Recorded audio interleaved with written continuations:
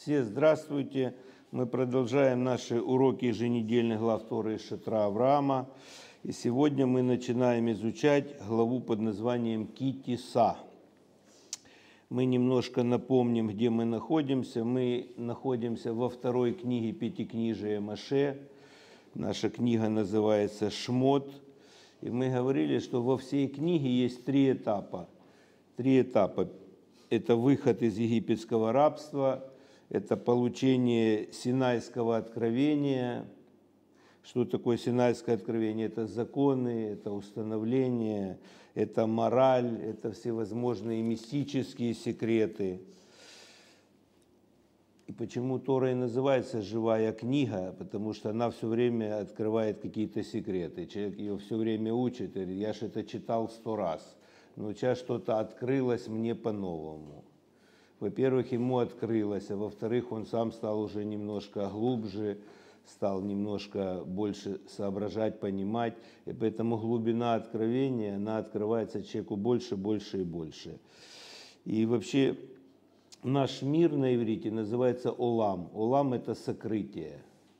Мы не видим Бога, мы только знаем, что Он есть, верим, что Он есть, ощущаем, что Он есть – ну так он сокрыт от нашего взгляда.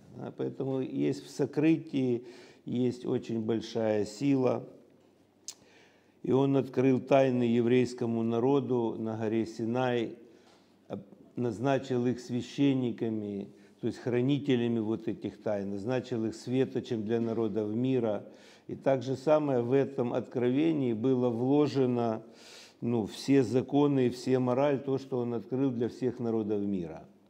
То, что мы называем семь законов, это та программа минимум, которую должен выполнять, соблюдать. Это, можно сказать, те красные линии, которые не должен переходить человек, потому что ну, будет иметь за это наказание. Это конкретные божественные запреты, не быть идолопоклонником, не осквернять имя Бога, не убивать, не воровать, не прелюбодействовать и сделать справедливую судебную систему, чтобы все эти законы ну, регулировать, чтобы человечество не пересекло эти грани. Все это дано было на горе Синай. И третий этап – указание еврейскому народу построить переносной храм – и Всевышний сказал, мы повторяем просто то, что мы говорили в этих главах, потому что пять последних глав, пять глав, половина этой книги – это о построении храма. И, конечно, здесь большие тайны, потому что задается вопрос, ну зачем нам сегодня вот говорить о каких-то там, как собирали на этот храм. Уже нет давно ни того переносного храма, ни даже того стационарного храма. Зачем сегодня в таких деталях и в таких тонкостях и мелочах изучать, и Тора нам оставила это как наследие. Более того, мы видим прямое указание Маше, что сделай все и запиши это все в точности, потому шатру, как было сказано, и в точности каждую деталь. Вот я помню, как я сам в начале, когда это читал, пять книг, и каждый день одно и то же, столько-то крючочков, столько-то грамм серебра, столько-то золота, такой-то умывальник, такой-то минору, светильник, масло. И ты все это, ну, знаете, что заметил, что с каждым годом раскрывается все глубже, все больше. Один предмет открылся глубже, второй предмет открылся глубже. И так потихонечку, потихонечку ты начинаешь видеть сокрытое, ты понимаешь, что храм это не просто храм, храм это и мир, храм это и какая-то община, допустим. Можно сказать, храм это и семья, Храм – это и сам человек. И каждая деталь, она есть в каждом в душе каждого человека, она как-то работает. И почему сказано «возлюби Бога и ближнего, как самого себя»? То часто человек сам себя понять не может. Уже как понять другим, если сам себя понять не может? Я увидел в Фейсбуке такое выражение, что попробуй измени себя. А потом поймешь, можешь ли ты помочь измениться другим ну, все же хотят изменить кого-то, так же. Жена мужа, муж жену, все друг друга, а сам человек, вот сам себя, выстрой себя. И поэтому каждый вот этот образ, это очень важно. Вот, например, в предыдущей главе мы говорили о повелении принести на масло, чтобы горел вот этот светильник. Да? Царь Соломон говорит, что светильник – это душа человека. И как Минора было сделано интересно, все от одной, от одной, а потом расходится и семь семь частей. Да? Так устроена душа человеческая. Есть разные качества, но все одна душа. И каждое качество надо выстроить, надо разогреть, надо, чтобы оно горело. Это целая работа, целая работа. И вот это масло, мудрецы объясняют, что такое масло, почему все должны были на это собирать. Мы сейчас немножко коснемся это, чтобы вот это скрытые смыслы Торы. Потому что есть общий вид – ну, прямой смысл называется, а есть скрытый смысл. И это именно вот то масло, которое действует прямо в душу человека. Я поделюсь немножко с вами, вот как я увидел красиво, что такое скрытый смысл. Вот ну, пару недель назад во время шаббата есть молитвенник специальный, и там в молитве есть ну, часть молитвы царя Давида. И там такие слова. Он молится Богу и говорит такие слова. «Ты, Господь, открываешь створки врат Востока, открываешь окна небосвода и выводишь солнце, ну, выводишь оттуда солнце. Ну, я люблю так представить немножко, да, как ассоциация. У меня просто, когда я в детстве жил частный дом, были вот эти ставни, знаете. И я думаю, ага, как же он открывает ставни на востоке, потом открывает окно и выводит оттуда солнце. Я думаю, ну красиво, как бы понятно даже мне. И так вот снизу я смотрю, так оно и есть. А потом мне приходит вторая мысль, минуточку, я же в школе учился, я же грамотный человек – ну, с тех пор, как космонавты стали преодолевать высоты. Нам все сфотографировали, глобус сфотографировали, все сфотографировали. Какие створки, какой, какие окна. У нас сегодня темно, в Америке сегодня светло, солнце никуда не ушло, оно там. Поэтому есть разный взгляд. Взгляд снизу, ну снизу так и есть. Ты смотришь в окно, солнце выходит, потом оно проходит и заходит. Взгляд снизу это один – это взгляд такой обывателя, мне так представляется. Но если то, как уже посмотрели на самом деле это устроено, это совсем другой взгляд. Земля крутится, солнце никуда оно не ходит, не уходит. Так же? То есть чуть-чуть другой совершенно взгляд. И вот точно так же Тора, да, вот нам мы смотрим храм, то, то, то, но на самом деле, когда Всевышний открывает нам через свои способности, он умеет это делать. Да? Открывает у нас, как написано, очи сердца, и мы видим совершенно другие вещи, мы понимаем совершенно иначе, мы понимаем, как устроен мир, ну, почему Всевышний придумал эти красные линии. И человек уже тогда не говорит, а мне все равно. Он понимает, что точно не все равно. Да? И вот это вот и есть потихоньку-потихоньку мы так смотрим, разбираемся с самим собой, разбираемся с этим мирозданием, и Всевышний нам потихоньку открывает, открывает открывает. Вот почему масло вот это, оно было такое важное. Такое важное масло, потому что масло именно, оно влияет на душу человека. И тогда внутри был свет. И мы немножко вспомним, вот ну, предыдущие главы, да, что у нас происходит. Весь народ собирает приношение, все необходимое, чтобы построить вот этот вот храм в пустыне. И весь народ начинает собирать пожертвования. И мы с вами уже это говорили, что, что интересно, когда все, когда все шли, спасались, Всевышний им помогал, что-то им давал. Был все время ропот, было все время недовольство, да, хотя Всевышний им сильно помогал, чудеса были. Был все время ропот. Когда они взялись вместе, чтобы что-то построить, то, что сказал Всевышний, ропот исчез. Появилось в народе полное единство, вообще не было ропота. Все что-то приносили, все что-то делали, все трудились вместе, все что-то отдавали – на это сооружение, чтобы все это вместе построить.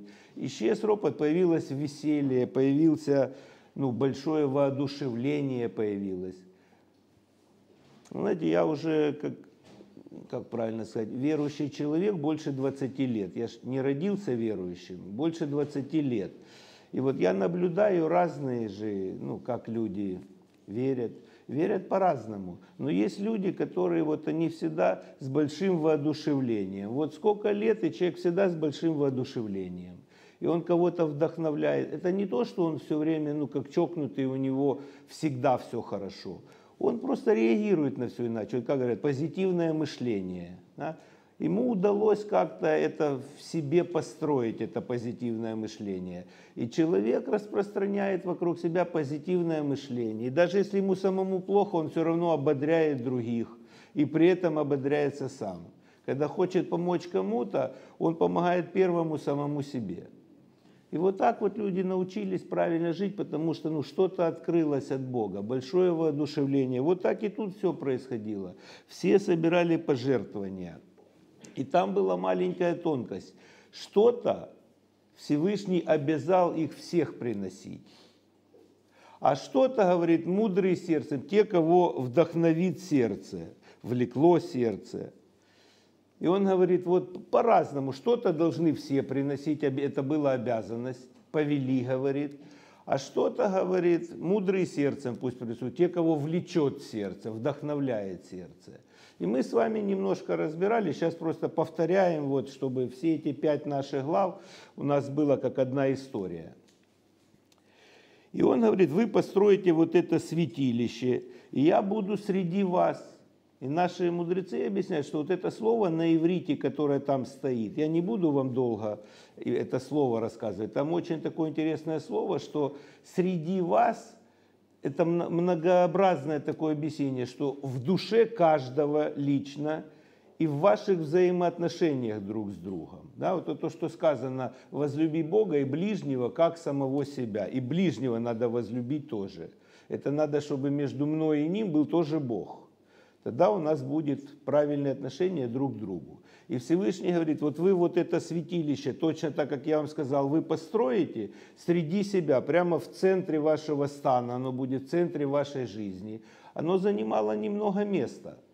Ну, если учесть, что 3 миллиона человек было вокруг, представляете? Очень маленький, но самый главный. В центре это находилось. И прошлая глава говорит нам, что вот эта глава ТЦВ, мы ее в прошлое воскресенье с вами учили. Вот это слово ТЦВ повели, чтобы они принесли, собирали, помните, там пожертвования на масло, на масло и на одежды священника. И вот это слово повели тоже оно очень важно. Вот прямо само слово повели, ТЦВ. На иврите вот есть, вы, наверное, слышали часто слово мицва. Мицва – это заповедь вот ТЦВ и Мицва, вот там есть один корень цафта. А цафта это как бы соединительное звено, это связь.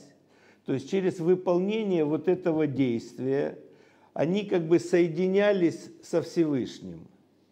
Вот через это повеление. Мудрецы объясняют, что вот это слово «повели», когда оно употребляется, когда человеку самому он испытывает какие-то сложности, неуверенности, то другими словами Всевышний говорит Маше, что ободри их, усили их веру, вот этим словом повели. Пусть они не раздумывают, пусть они это сделают обязательно. Вот такая вот идея. И объясняют мудрецы, почему? Потому что когда речь идет о том, что надо расстаться с материальными ресурсами, человек это очень сильно ощущает, и ему это трудно сделать. Да? Взять что-то и отдать от себя кому-то, это вообще непростая такая вещь. Многие люди за многие годы веры, они не могут это сделать, к сожалению. Вот что угодно, они даже готовы потратить времени кучу на кого-то, но когда речь идет достать там пару копеек дать, они не могут, у них просто нет на это сил. А я думаю, смотри, так время же деньги. Ты же потратил 5 часов на что-то, на кого-то. Это же, если бы ты эти 5 часов поработал, ты бы заработал какие-то деньги так ты же больше потратил. Ну, люди так понимают, когда надо что-то взять, вынь да положь, это трудности испытывают. Поэтому вот это слово «повели», Маше здесь использует и говорит, ты им повели, привяжи их, свяжи их, соедини их со всеми Всевышним, потому что от этого зависит, именно буду я в них и буду я среди них. Понимаете, вот этой вот веревочкой. И что они собирали? Собирали именно на вот это масло и на одежды священника, чтобы вот этот храм общий, он мог работать, чтобы он мог существовать. Вот этот образ очень легко понять сегодня, вот просто сегодня, чтобы это не осталось, чтобы этот образ, он пришел в нашу жизнь. У меня недавно был разговор с одной нашей, ну, мама одна, у нее дочка уже взрослая, и мама ходит в нашу общину с первых дней ее существования. И вот она просто посоветовалась. Мы пили чай, и она посоветовалась, говорит, вот а как быть теперь, вот дочка выросла, ну надо профессию, уехать куда-то или что-то, а как же быть с общиной? А, а мы же как раз проходим сейчас вот это вот, изучаем храм, и тут же как раз есть все ответы. И мы пили чай, и у меня вот так вот чай стоит, и кулечек это чая, ну, знаете, да, заварка. Я ей показываю, смотри, что такое постройте святилище, и я буду среди вас и вас. То вот, например, есть община, и должна быть какая-то связь с общиной. Да? Человек ходил много лет, потом куда-то уехал. Но сегодня же такое время, что связь, в чем она заключается, связь? Все вместе собирали на елей. То есть самое главное это учение. Самое главное, чтобы человек не переставал учиться, потому что что такое вера в Бога? Люди верят в Бога по-своему, как хотят, как понимают. То, что их ни к чему не обязывает. Очень часто это очень программа минимум, которая тут, там нет связи хорошей. Там есть такое немножко милосердия Всевышнего, потому что он милосердный. Но нету вот этой практической, систематической связи с Богом. А Бог же хочет с нами общаться постоянно. Вот как в Ганедане. Там написано, что Адам ходил и общался с Богом. Бог хочет с нами общаться, Бог хочет, чтобы мы с Ним общались. Да, и наладить вот эту связь. Я говорю, сегодня же есть у нас в Ютубе канал Шатер Авраама, и в прямом эфире, и другие уроки. Человек, где бы он ни был, он может все время быть подвязан. Я показываю вот этот мокрый пакетик чая – и ниточка вот эта, и бумажечка. И пока он был в воде, сам пакетик был в воде, то вода на ниточку перешла, еще окрасила ее в цвет чая, потому что был какой-то такой красноватый. И намокла даже сама бумажечка. Я говорю, вот смотри, что такое связь, вот эта маленькая ниточка, она подвязана к пакетику. Пакетик находится в воде. И, и благодаря тому, что она подвязана к этому пакетику, намокла и сама ниточка, и сама бумажечка. Вот что такое человек подключен, да, вот, например, к общине, в которой он находится. Так же самое, например, вот Здака. Звонит мне один человек, как-то я не увидел, как он исчез. Сейчас, знаете, с этим пандемией, ну, часто меньше ходят там, как-то так.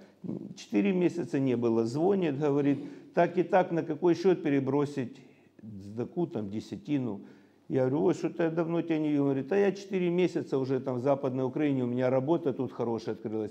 То есть смотри, я все уроки смотрю, я слушаю, вот пересылаю на какой счет, собралась десятина. То есть человек подвязан. Он подвязан почему? Потому что он и получает что-то, и отдает что-то. Вот эта ниточка, она и окрашивается, и намокает, потому что человек всегда подвязан. Так и тут я говорю, ну уехал человек сегодня, слава Богу, из-за этого интернета, его же надо умно использовать. Можно все слушать, учения принимать, с такой участвовать. Ведь о чем была речь в храме? Вот когда в древнем храме Всевышний говорил людям, принесите десятины в дом хранилища моего, чтобы в доме моем была пища. Что это значит? Пища это есть вот это слово, вот эта сила, все, что течет отсюда, да, человеку. И смотрите, как получается. Человек, например, ну, вырос, получил что-то, воспитание какое-то, да. Я говорю, смотри, если есть польза человеку, да, вот он получил пользу, он начал работать, ну, вырос человек. Вот у меня дочки тоже повырастали. Когда человек молодой, когда он уже вырастает, это немножко же другой образ жизни совершенный. Но можно все равно быть подключенным. Вот у меня дочки выросли, я рад, зарабатывать начали. Раз приносят десятину сразу. Папа, передай в любимую общину. А почему? А потому что они ну, пищу здесь понимали, они выросли здесь, а теперь что, они хотят, чтобы другие, вот сейчас другие, кому 13 лет, там, чтобы они получили воспитание. В доме, чтобы пища была, чтобы они там, где получили, чтобы другие теперь могли также питаться. И они так же самое, они получают учение, они слушают, когда могут посещают, когда могут помогают кому угодно. И смотрите, в чем вообще нехорошо. Вот когда человек говорит, возлюби ближнего – он может быть как Ной, как Ноах, он только семью спас. Но поэтому там уменьшительное слово, сказано, что он праведник в своем только поколении. Уж он больше никого не спас. Весь мир спасти или посторонних, чужих людей, это тоже такое не очень понятное явление. А когда вот есть община, это вот ты ж никого не выбирал. Тех, кого Всевышний собрал, вот тут найди. А Всевышний как-то так собрал, чтобы люди могли получить пользу друг от друга. Да? И когда все вместе, вот это то, то же самое, что происходило там вот сейчас среди евреев. Все вместе, кто-то нитки приносил, кто-то приносил золото, кто-то варил это там, ну, паял, кто-то шил. Каждый делал то, что мог, и вместе и Бог был и в них, и среди них. Ну, понятный такой образ. Вот. Теперь мы переходим к нашей главе Китиса. Она продолжает рассказ о построении храма. И вот это слово Китиса, начинается наша глава такими словами. Когда будешь подсчитывать сыновей Израиля, пусть каждый принесет искупительный дар за душу свою. И не будут поражены они мором при подсчете – вот что дадут они половину священного шекеля, в котором 20 монет гера, каждый от 20 лет и старше, богатый не больше, бедный не меньше, для искупления душ ваших. Ну что тут можно понять без комментария? Человеку, который первый раз это слышит. Можно что-то понять? Можно понять только внешний, ну, внешний прямой смысл – вот это слово, когда будешь подсчитывать на иврите, переводится так идея, когда будешь возносить головы, поднимать головы. Что такое искупление души? Это когда душа не в порядке, скажем так, то голова у человека опущена. Ну, понятны эти образы, да? Как меня один человек недавно спросил про карму. Ну, восточное слово. Что такое карма? Вот легко объяснить в нашей главе, потому что в нашей главе есть Китиса эпизод, самый негативный эпизод для еврейского народа, когда после большого Божьего благословения и подъема они сделали золотого тельца. И вернулась эта нечистота. То есть фактически что называют карма? Когда человек делает какие-то неправильные действия. А это тоже ну, одежды души. Какие неправильные действия может делать человек? Мысль, речь и действия могут быть неправильными. И действие это особенно важно. Речь это тоже уже действие. Пока еще на уровне мысли, пока еще плохо только тебе. Но когда ты уже начинаешь говорить, или ты начинаешь делать. Вот ты вокруг себя, я вот это слово использую, его просто люди понимают, ты вокруг себя вот созидаешь вот эту карму. Да? И создается такое, как шкарлупа ореха вокруг тебя. И эта шкарлупа, она не пропускает божественность. И твоя душа, она не подключена еле там может что-то, чтобы ты, ну, программа минимум, что-то просачивается на твою душу. И тогда требуется искупление души, чтобы это было разбито, чтобы Всевышний аннулировал это. И знаете, люди же живут всю жизнь вот в таком состоянии. Потом говорят, мне не везет, меня как будто пороблено. Ну, многих таких слов, синонимов можно придумать, да, что действительно не везет. Там не везет, тут не везет, куда ни глянь, везде плохо. Почему? Ну, вот так человека, така, такая у человека вот такой заработок, скажем так. И так к нему приходит. Что надо? Искупление души. Я это так называю понятным языком, вот как таможня. Знаете, машины стоят, вереница, потом подошел кто-то один, взятку дал, ну у нас так это работает. И таможня дает добро. Поднялся этот, как он, шлагбаум и поехал. Да? И вот так человек по жизни. Бывает вот Что-то есть у него такое, и не везет, и не везет. Потом искупил свою душу, и раз, и прорыв пришел. И он не, он не понимает, потому что он не понимает. Если когда читаешь вот это вот, все понимаешь. И причем это же может быть и у верующего человека. Раз нет же идеальных людей, да, что-то раз опять где-то куда-то заехал в какую-то трущобу, потом локти кусаешь, все, ну, надо как-то, есть программа, как Всевышний дал нам возможность, ну, очищать, и говорит, семь раз упадет праведник, Всевышний поможет ему подняться. Но праведник должен хотеть подняться, да, это как царь Соломон говорил. Праведник тут имеется в виду просто благочестивый человек, который стремится ну, строить отношения с Богом и что-то делать позитивное. Переходим к нашему немножко вот это вот общая картинка. Мы сказали, каждый человек от 20 лет, то есть тот, который уже самостоятельно принимал решение, который мог идти в армию, скажем так. Ну, дети тут не, не это самое. Им было еще, как скощуха называется, да. И как это выглядело? Вот интересный момент, что они должны были принести половину шекеля священного, в котором 20 монет гера. И комментаторы объясняют, что вот этот священный шекель, он был ровно в два раза больше, то, что в храме использовали, он был ровно в два раза больше, чем обычный. И это были монеты, вот были, да, из него делали монеты. А на самом деле вот это была такая серебряная пластинка, например, 20 грамм весом. А обычный шекель был 10 грамм. И мудрецы задают вопрос, почему, как делался вот этот священный шекель. Бралось два простых шекеля по 10, расплавлялись и выплавляли пластинку 20 грамм. Из двух делали одно, а потом ее распиливали, и вот эту половину серебряного приносили в храм. Ну, представляете картину, да? Задается вопрос, почему нельзя взять один обычный и принести? Почему такая сложная задача? Их надо вначале сплавить, потом расплавить. Но мы уже с вами понимаем, что в каждой детали есть нам какое-то назидание, причем для искупления души. Причем богатые не больше, а бедные не меньше. Это же сложно понять, кажется, речь идет о серебре. Чем больше, тем лучше. Но это же на общее дело, пусть богатый принесет тонну. Почему он должен так же, как и бедный, а бедный должен был даже одолжить, чтобы отдать эти пожертвования, даже если у него не было. Он должен был одолжить эти деньги. Вот такая обязанность во искупление души. Ну, конечно же, здесь есть для нас какое-то назидание также. Объясняют мудрецы, что когда что каждая деталь, она о чем-то говорила. Одежды священника о чем-то говорили. Каждая деталь о чем-то говорит нам про нашу душу. Что такое искупление души.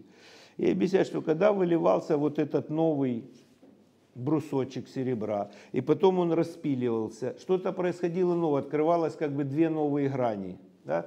Вот он целый, потом распиливается и берется две новые грани. И это что-то показывало человеку. И Любавический Рэба, я очень коротко, чтобы много времени не отнимать, он так комментирует, что показывало вот это вот пол шекеля. При этом происходило большое смирение у человека. Большое смирение. Душа должна была смириться через Бога, ну, перед Богом. Когда человек смотрел на всю эту процедуру, в ней принимал участие, и он понимал, что без Бога он всего лишь половинка, что ну, недо, обрубок, недоделанный. Кто бы он ни был, богач огромный, кто бы он ни был, он смотрел это там, он думал, что он ну, большой чиновник там, или большой человек. А здесь перед Богом его душа, все, без Бога обрубок просто. Просто Просто обрубок. И есть такой интересный момент, один праведник советовал, говорит, чтобы верующий человек должен в кармане носить, носить две записки. Вот просто ходить две записки носить все время и периодически их доставать и читать. На одной должна быть цитата, которую Авраам сказал, «Я прах и пепел». А на другой записке должно быть написано «Весь мир создан ради меня одного». Вот задумайтесь. И периодически доставать каждую. Вот это две половинки. Что когда я с Богом, то ради меня создан этот мир. Я не могу себе позволить, даже если я бедный или он богаче, у меня есть достоинство, потому что Бог со мной. И завтра я могу стать богатым.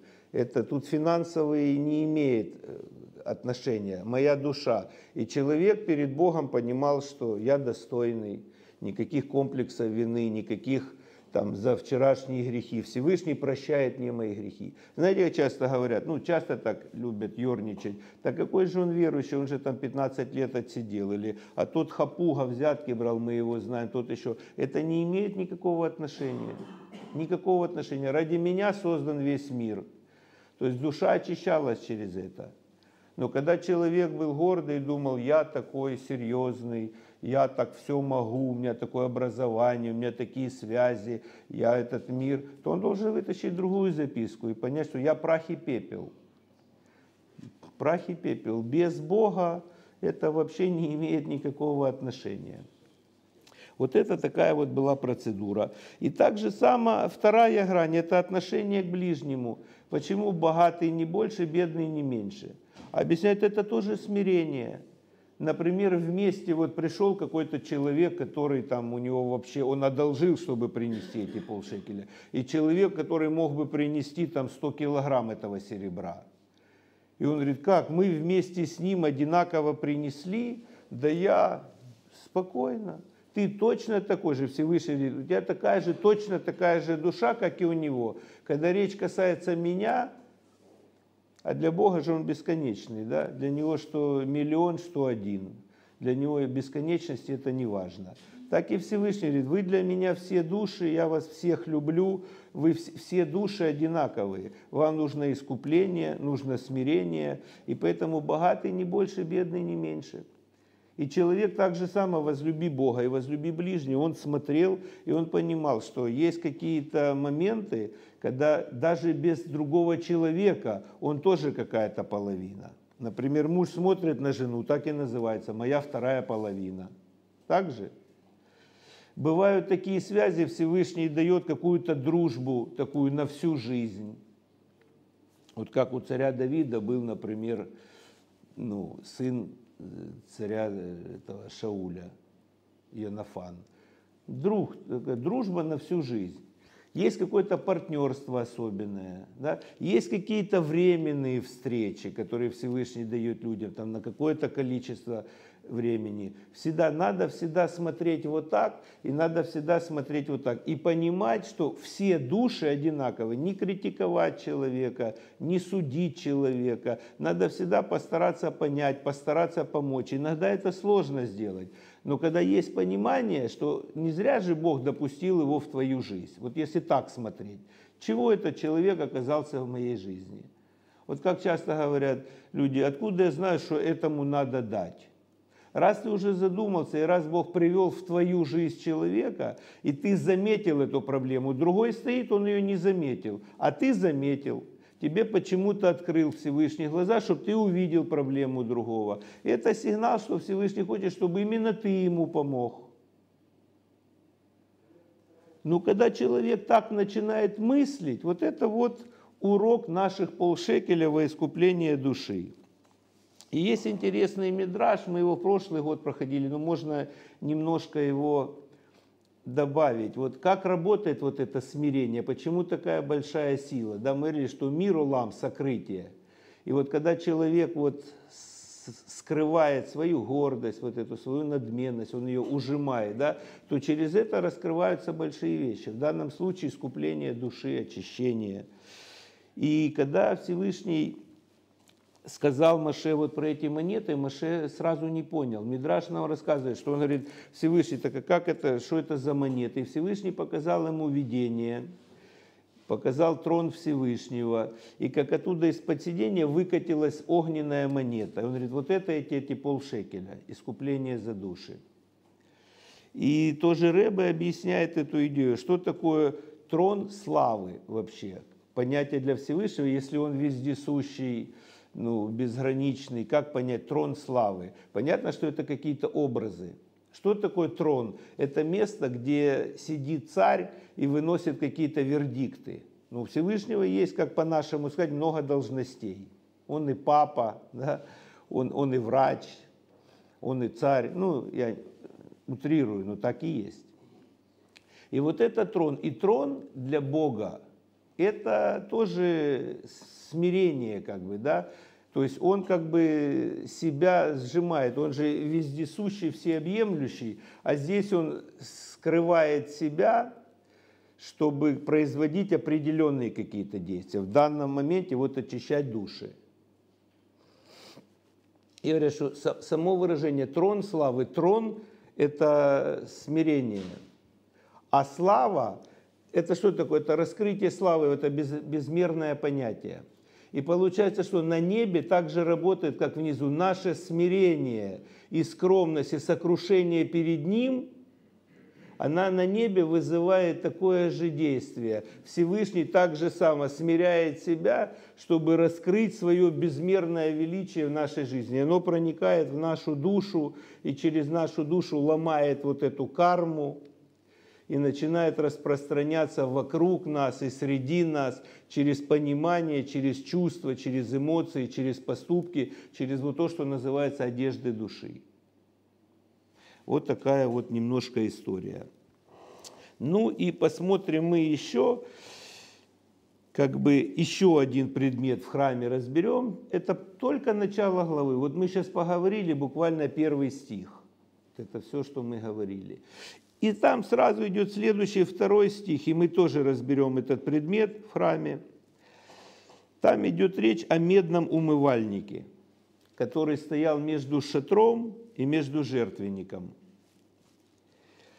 И в этом умывальнике написано, будут омывать руки и ноги Аарона и его сыновья. То есть как происходило вот это богослужение в храме? Приходили люди, приносили жертвоприношения. Это все было на внешнем дворе во искупление за грехи свои были другого формата жертвоприношения. Священники резали там эту жертву, кровь была, там приносили жертвоприношения. И потом стоял умывальник.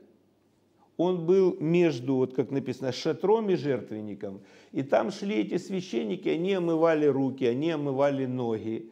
И только после этого, с омытыми уже частями тела, они могли входить в святое, то есть в следующий уровень служения, туда в святое, где находилась минора, где находился золотой жертвенник, где находились вот эти хлебы предложения.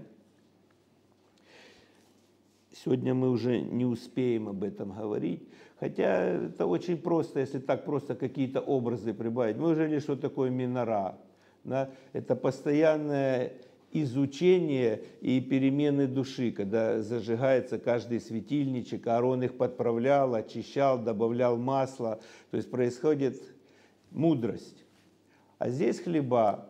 Хлеба – это признак добрых дел, благотворительности. А там золотой жертвенник, где происходило благоухание, где каждый строит личный, там один только мог священник находиться. Там не бывало, что много людей. Там. Это твои личные взаимоотношения. Для Бога это благоухание. Когда ты сам ему что-то говоришь, что-то просишь, ты строишь с ним свои личные взаимоотношения, это важный уровень. И для Бога это благоухание. Добрые дела, благотворительность, изучение – но чтобы пройти туда, чтобы все это посмотреть, надо было вначале омыть руки и ноги. И наши мудрецы объясняют, что интересный момент, вот этот умывальник не вспоминался в предыдущих главах. Вот уже две главы было, умывальник не вспоминался. А в следующих главах будут все предметы обратно перечисляться, и умывальник обратно будет там. И задается вопрос, значит, в этом что-то есть. Есть пример, вот я вспомнил, есть в одной из глав Торы, там, где идет пересчет сыновей Израиля, по-моему, это Бемидбар книга. И там есть, когда семьи левитов перечисляются. И получается, их было три семьи. Левитов было три семьи. И в одной главе перечисляется две. А потом в, в другой главе сказано, а вот и семья Кигата, перечисляются они, убереги их, Маше даются указания, как поступить с семьей Кигата. И тоже мудрецы задают вопрос, почему эти две семьи в одной главе, а эта семья в другой главе. Вот точно как наш умывальник. В этом что-то есть, там что-то надо было выделить. И что там надо было выделить? У семьи Кигата было особенное опасное служение. Поэтому убереги их. Они носили ковчег. А носить ковчег это было самое страшное дело. К нему надо было очень трепетно. Его нельзя было ставить на повозку, только на плечах. До него, до самого нельзя было дотрагиваться. Даже смотреть нельзя было.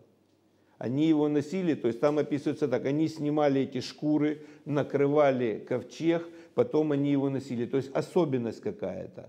И точно так же вот в этом нашем умывальнике, там он не описывался, а здесь отдельным как-то его описывают.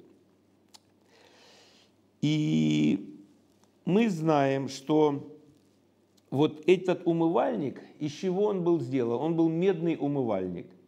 И Мидраш нам рассказывает, э, откуда взялась медь на эти умывальники. Женщины собрали свои зеркала. Были раньше медные зеркала. Собрали свои зеркала и принесли Маше свои зеркала и говорят, вот это мы принесли для, для храма. И Маше вначале не хотел их принимать, эти зеркала, по определенным причинам. А Всевышний говорит, они мне милее всего. Они мне милее всего. Вопрос, почему не хотел Маше их принимать, потому что он говорит, это же предмет использовался для разных целей. Ну, то есть для раскрытия э, там, как называется, похоти плоти, скажем так, да, то есть женщина прихорашивается, смотрится. Ну, он считал, что этот предмет недостоин быть в храме в самом святом месте. А Всевышний говорит ему наоборот, эти зеркала, вот эти мне милее всего. И рассказывается предыстория этих зеркалов. Оказывается, когда еврейские мужчины были в рабстве, они были в рабстве. Женщины сами тянули хозяйство, ну, сложная очень жизнь была.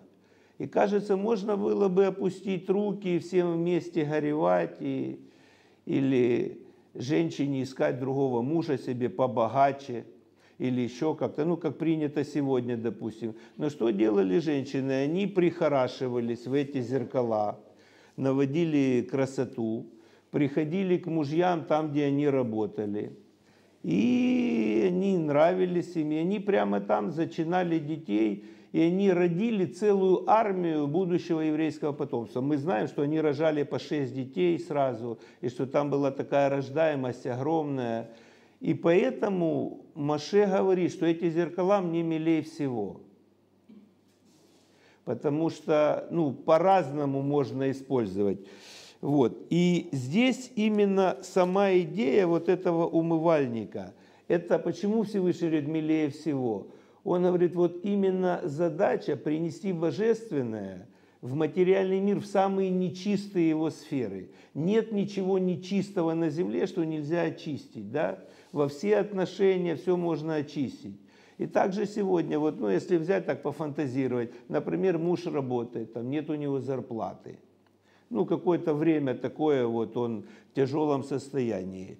Другая женщина может наоборот и поднять ему настроение, и ободрить его, и поддержать в нужный момент, и сохранить и семью, и все это. Это божественное.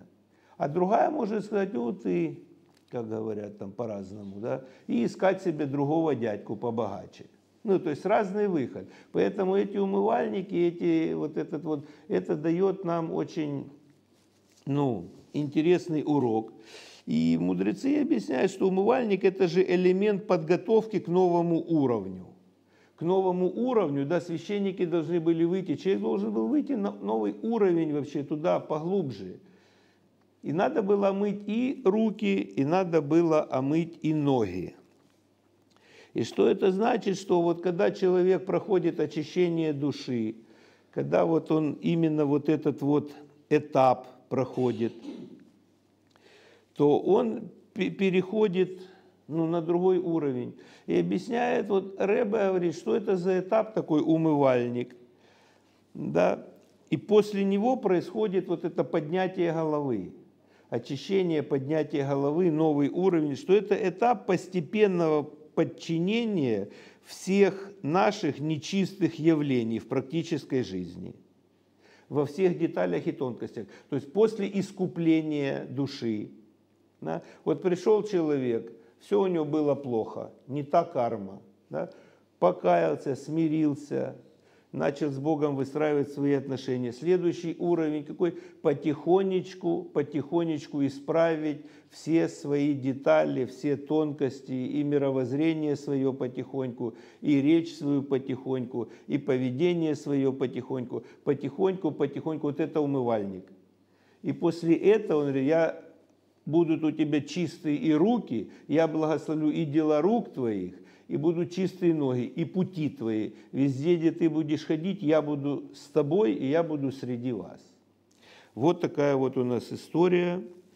Дай нам Бог, чтобы мы что-то отсюда взяли, полезное для себя, что-то могли как-то эти образы тоже в своей жизни ну, применить. И что интересно, что желание снизу, оно вызывает движение сверху. Вот что-что, а помочь избавиться и исправить Всевышний поможет. Но мы всегда говорим, это должен делать я, но с Божьей помощью. Потому что если у меня нет желания что-то исправить, что-то очистить, то, конечно, Всевышний это делать не может. Да? Поэтому и был показан Маше вот эта видимая картинка, что желание человека, оно вызывает эту огненную монету из патрона Всевышнего. Это наша с вами инициатива. Будьте здоровы, всем хорошей недели.